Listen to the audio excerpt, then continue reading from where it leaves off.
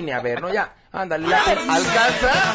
Sí, es cortito. pero, pero mini averno porque para, para, para que el último bloque no sea de un minuto. Bueno, entonces va un mini averno. A ver. Pero, pero pon la canción porque la, la metí, la- la- la- fue un coito interrumpido. A ver, coito, a ver, bien, ándale.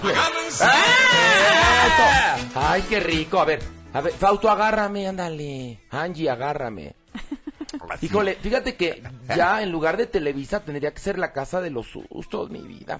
La gente Sí. que ha apostado por Televisa que le han dicho, es tu casa, aquí te queremos, y que además les cortaron las alas porque te vas y no vuelves. Bueno, pues ahora está, están pagando su lealtad de una manera espeluznante. Como le dice Fausto Isaac Lee, el Ajá. nuevo este jefe de ahí de Televisa. Ajá. Bueno, si la producción en cuestión no está generando un proyecto, Fuera. ah, no, ah, vas a, te va casi que te va a costar estar ahí. ¿Tener oficina? ¿Van a pagar renta o qué? O casi, casi. O sea, se va, se va a lo mínimo, este, respecto a los recursos para que medio subsista la producción. Ya no van a gastar en pagar las becas o los medios sueldos que pagaban a una producción que no estaba generando. Exclusividades se van a acabar paulatinamente. Es decir, Todas. van a entrar en crisis Ferni Colunga, que está en un gimnasio en Miami ahorita. Ajá. Este, Eduardo Santamarina.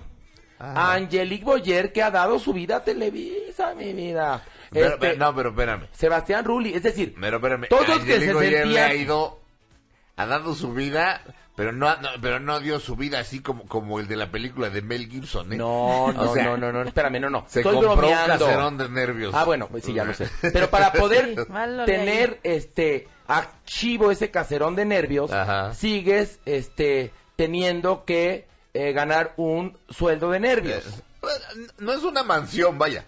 No vayan a creer tampoco que Angelique Boyer es multimillonaria. No, pero entre más se compró tienes, una buena casa, vaya. Más gastas, No como es- Johnny Depp, que ahorita que gana do- que gasta dos Bueno, millones de dólares al mes. exactamente, eh, o sea, eh, ándale, ¿No? Ah, Entonces- y no le alcanza. y no le alcanza. Bueno, el asunto es que lo único que dijo Isaac Lee Ajá. es que lo que sí va a respetar eh, son las exclusividades vitalicias.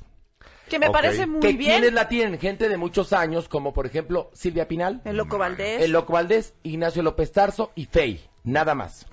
Exacto, gente de la misma edad. gente de la, de la novena edad Ajá. eh, y que lleva muchos años en Televisa. Pero eh, todos estos que estaban pues muy felices, ¿no? Diciendo, pues yo ya lle- lle- llevo una carrera en Televisa, le he dado a Sí. Televisa, es mi casa, eh, tengo eh, este 10 estelares, telenovelas Ajá. que sean... No hay este, muchos de ellos que hablan mal de la empresa, aparte, teniendo exclusividad y que comen de ahí y hablan luego, o sea, ay no, Bueno, las novelas no sé qué. Espérame, has- les aviso, ¿eh? O sea- Creo que el 99.99% de los actores que trabajan en Televisa hablan mal de ella, ¿eh? Porque los seres humanos desafortunadamente somos inconformes Así somos. y bueno, la sociedad es la madre de todos los vicios. Están sentados esperando entrar a grabar y ¿qué hacen? En lugar de hablar de Proust, intrigan. ¿Qué es lo que pueden hacer?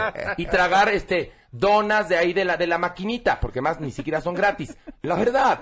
Pero el asunto es que mi Eduardo Santamarina, según esta nota de, de- de- de conocido diario, ni Fernando Colunga, ni Angeli, ni todos estos pensaban, pues que ya, después de tantos éxitos, la empresa iba a decir, pues ahora sí que o te bajas, o ya te has bajado muchas veces por tener exclusividad, pero bueno, el asunto es que o, o bajas tu- tu- tus ba- te bajas por expectativas, menos. O, o- o te bajas por O menos, te bajas con más. o te bajas con más, pero el asunto es que este Isaac Lee ha convertido esta empresa en la caja de las surprises. Pero digo yo, tanta lealtad que les pedían. eh, yo me acuerdo cuando trabajaba en Televisa te decían, es tu casa. Y en las posadas que hacían que antes eran mejorcitas que las de Sí. ahora, te, te, te agasajaban, "Es- son para ustedes porque los queremos. Y yo a la primera gatada que me hicieron, dije, no, pues esta no es mi casa.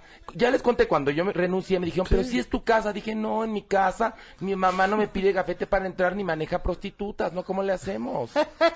ni nadie se droga. ¿Sabían ustedes?